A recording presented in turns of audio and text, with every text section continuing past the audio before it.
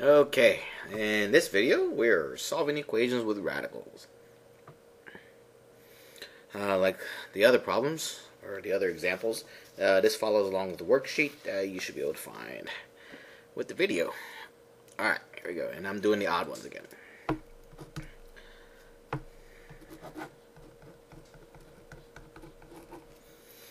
Okay, uh, in this one, we have a radical equal to a number. Uh, what we want to do is we're going to square this to get rid of the radical. Um, the problem with that is we're changing the domain.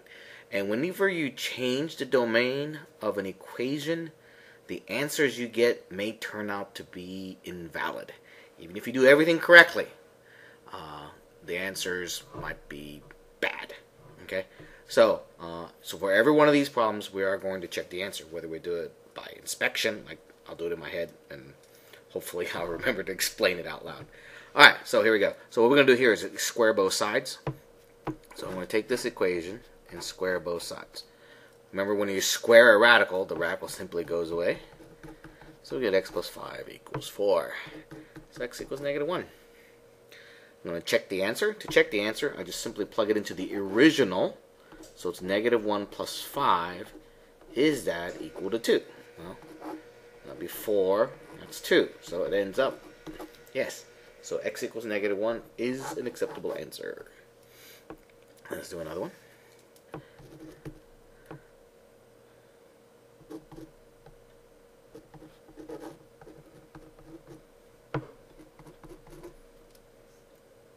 Okay. Um, one of the things you want to do when you solve these, or when you, or right before you square them, you want to isolate the radical as much as you can. This plus 10, if I were to square it now, it's going to prove to be a royal pain. So what we're going to do is move it over to the left. So I'm going to subtract 10 from both sides. When I subtract 10 from both sides, I get 1 equals square root of 3 minus x. So I've moved the 10 to the left, subtracting it. Okay. Now when I square it, I won't have this 10 to encumber things. So when I square it, I get 1 equals 3 minus x. Just in case something... Ah! Anyway, alright. I square it and I get that. Solve that for x. I get negative 2 equals negative x, so x equals 2. Check your answers again. Here, 3 minus 2 is 1. Square root of 1 is 1. 1 plus 10 is 11. In case you missed that, plug it in. Remember, this is a question of equality.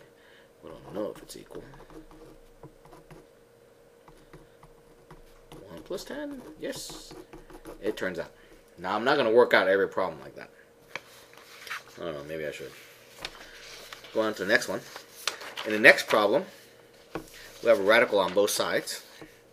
They may actually look more complicated, but number 5 actually turns out rather nicely.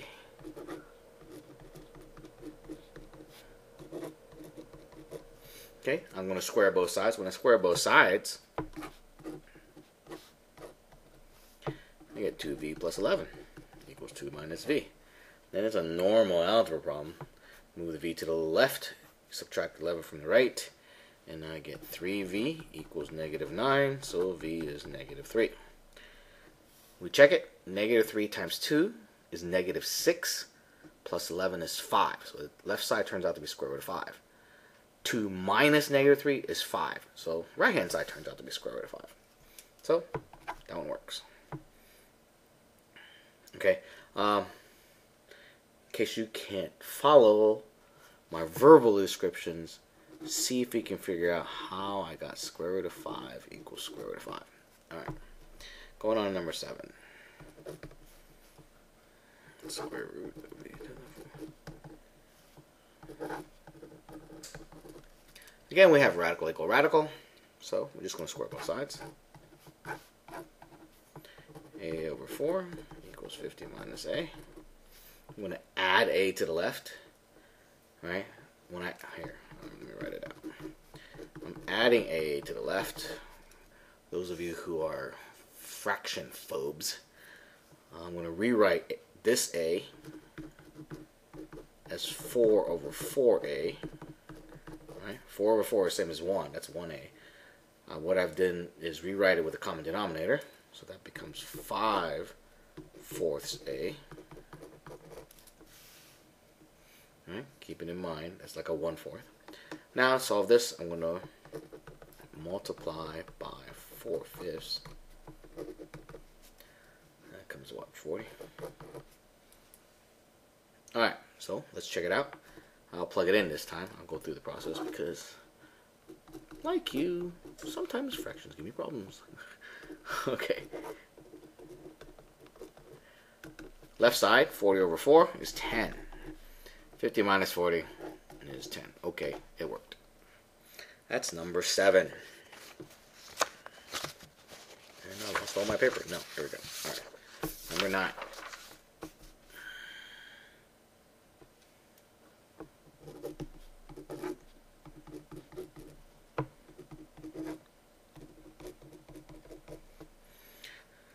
This looks the same.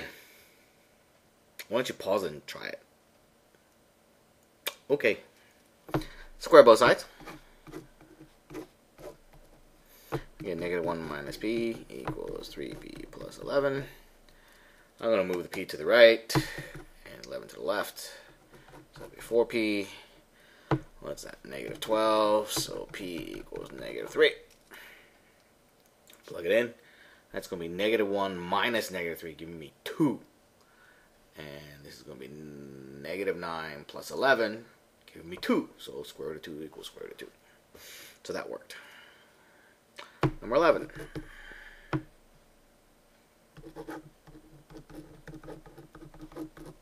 Now this one is actually a little more interesting.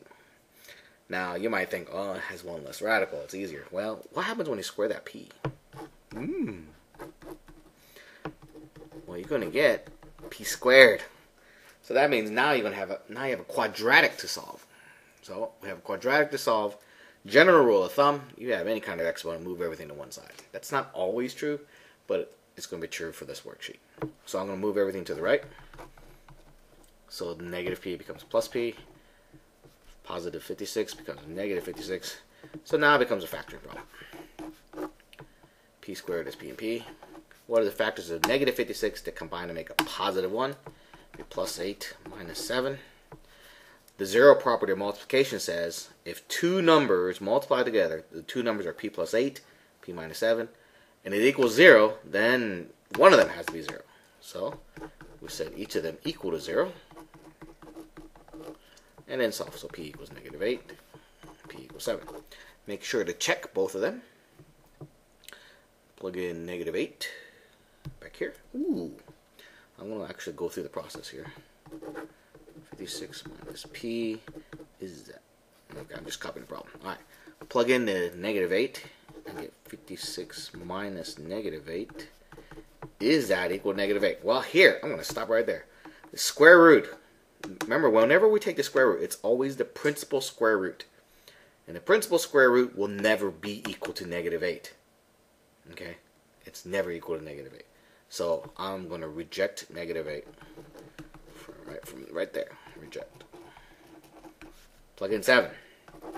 56 minus 7. Is that equal to 7? What's that? 49. Yep. It's true. 7 equals 7. So my final answer, number 11, is P equals 7. Okay.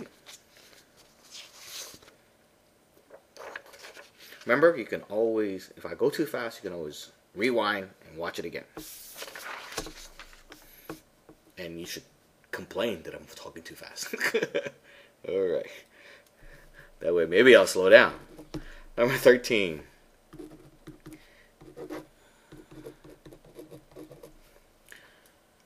Again, square both sides. So, square that. Square that. So that'll be b squared equals negative 7 plus 8b. Move everything to the left. b plus 7 equals 0. Factor. This one's easy.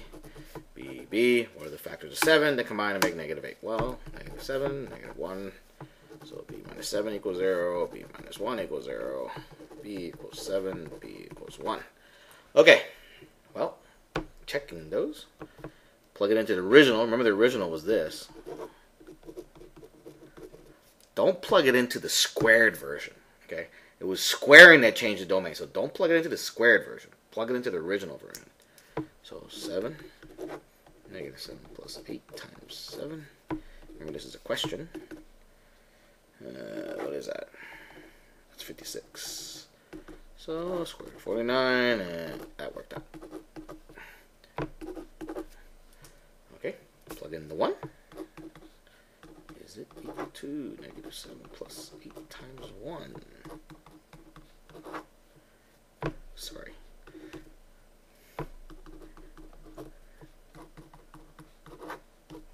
Yep.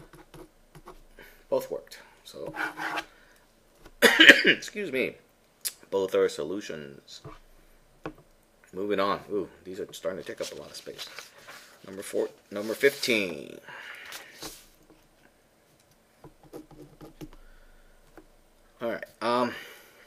Also starting to run out of time. Uh, we'll go ahead and do this one real quick.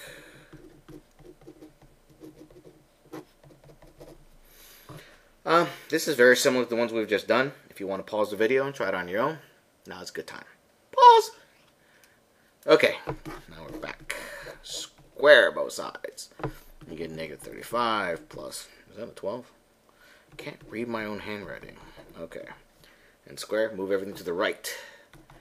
And square minus 12 and plus 35, and that's equal to 0. What are the factors of that? The combined. What are the factors of 35 to combine to make negative 12? Well, how about 7 and 5? Yeah, these are kind of easy factoring problems. I wonder if they're going to get more interesting. I don't know. I need to quit babbling because I'm almost out of time. All right, n minus 7 equals 0, n minus 5 equals 0, n 7, and it's 5. Check them out. Square root of negative 35 plus 12 times 7 is that equal to 7. So what's that? 84. Is that right? 7 times 2 is 14. Carry the 1, 7, 84. 85 minus 35. I'm sorry, 84 minus 35. This will be 9. 7 minus 3 is 4. Square root.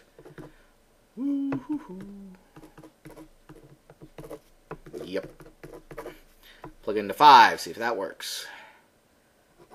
Negative 35 plus 12 times 5. Is that equal to 5? That's 60. Uh-huh. 25, square root of 25. What do you think? Yep. It works. Okay, um, time limit on these videos is about 15 minutes, so I'm going to stop right here. Uh, I'm going to do rest of the problems on the next video. Okay?